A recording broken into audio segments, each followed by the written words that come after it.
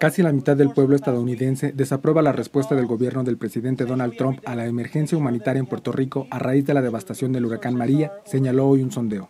49% de la población asignó una calificación reprobatoria al manejo de los esfuerzos de alivio para los 3.5 millones de estadounidenses que residen en la isla, comparado con 32% que aprobó las acciones presidenciales, de acuerdo con una encuesta de Associated Press NORC.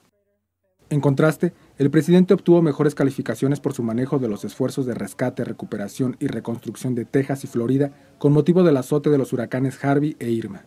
El sondeo señaló que 48% de los estadounidenses aprobó el desempeño del presidente en estos dos estados, mientras que 27% emitió una opinión desfavorable.